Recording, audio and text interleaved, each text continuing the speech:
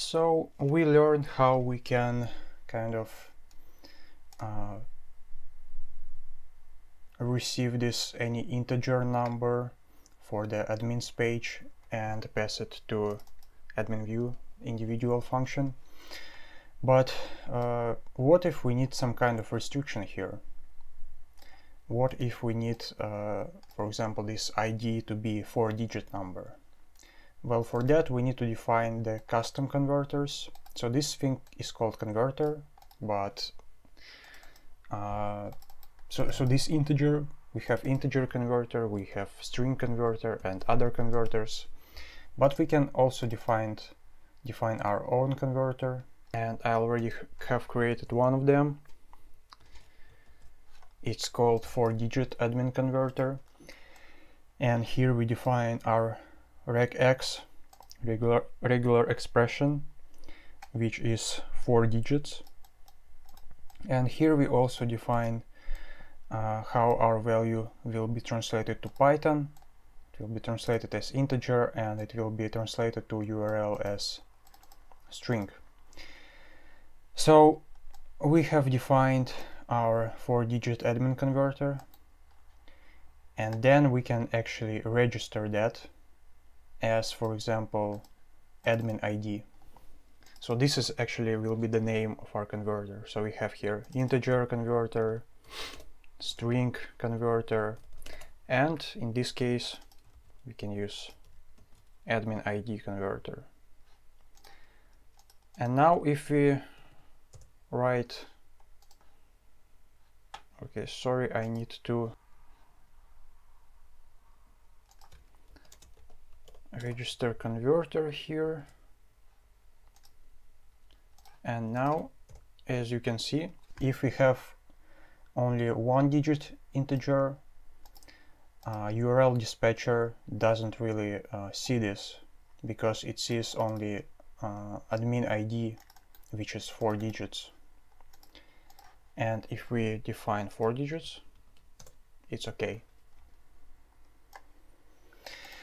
Um, of course, in this case, it doesn't really make sense to kind of create all of this converter, custom converter stuff because basically um, you need converters only if you really have some stuff that you need to uh, some really complicated logic which uh, affects this to Python function and to URL to Python method and to URL method.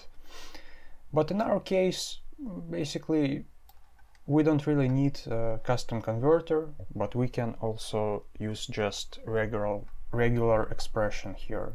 So let's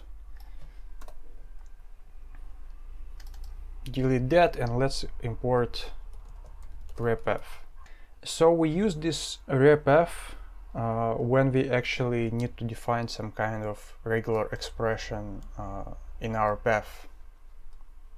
So we change it to re_path. We delete this converter, but we leave this ID. And here we actually define our regular expression. We say here r, and here we using this using this as a start we define that our uh, parameter will be called id and then we define that our id should actually match uh, this regular expression.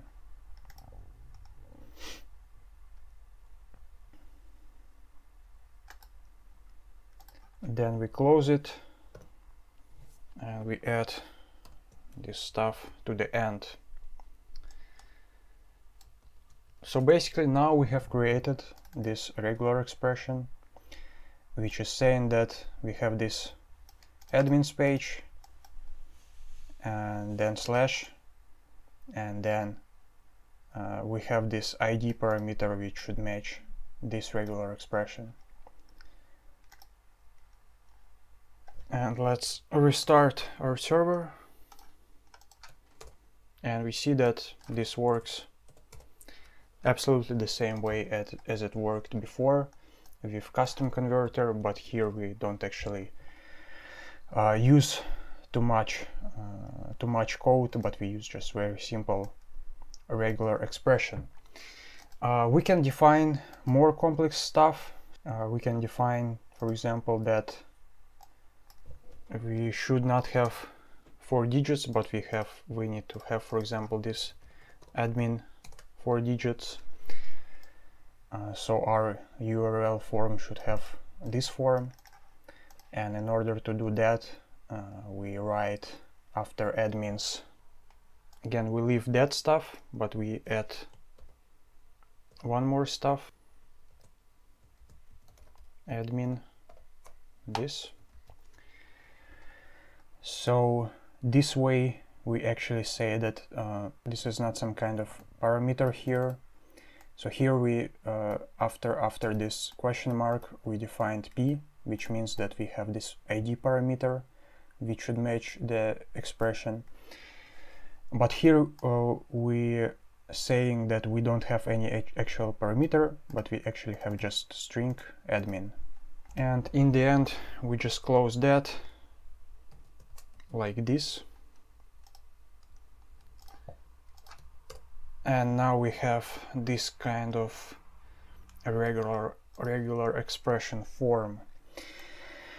So uh, again, this is quite complicated stop topic and you should, um, in order to use these regular expressions in your URL patterns, you need to really, you need to know regular expression topic really good which is not Django topic, but it's a separate topic and actually separate field in computer science, uh, this regular expression field. So yeah, in order to actually use it efficiently, these um, regular expressions, you need to put a lot of work, a lot of studying here.